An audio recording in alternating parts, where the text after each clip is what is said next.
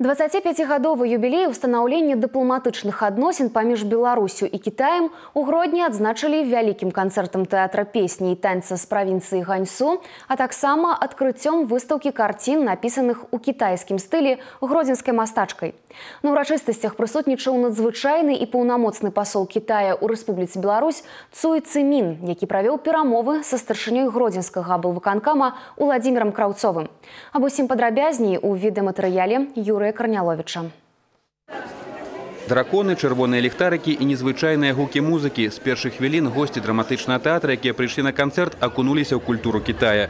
Тэатр песні і танца з правінцыі Ганьсу падрыхтаваў для грудзенцаў насычаную яскравую праграму.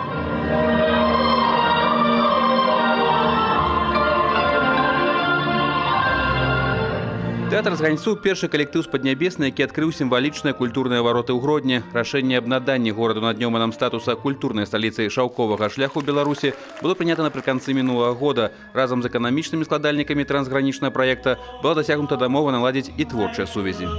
Не секрет, что любое э, выстраивание международных отношений, выстраивание экономических отношений, все начинается с культуры, с культурных отношений с, э, между людьми, между народами.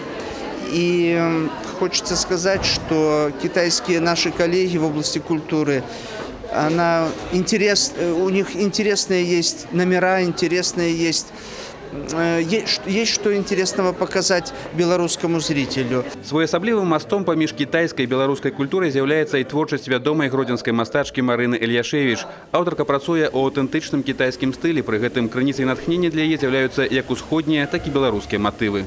Это традиционная китайская живопись. Все работы написаны тушью, минеральными красками, что позволяет храниться им долго, они не боятся столетий.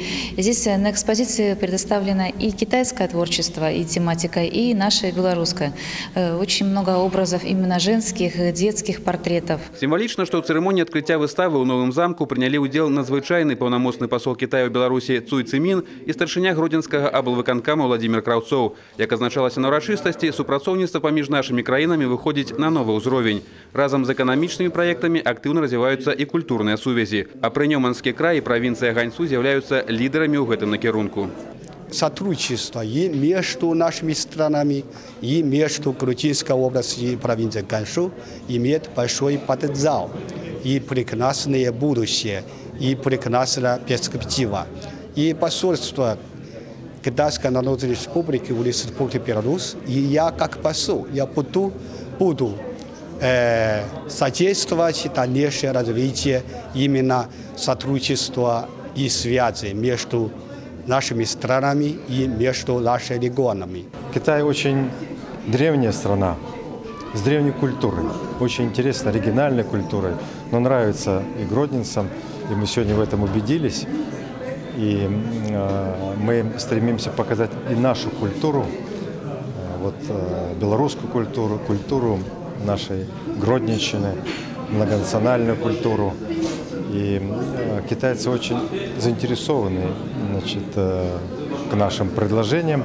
И я удовлетворен, что вот у нас такие контакты стали развиваться.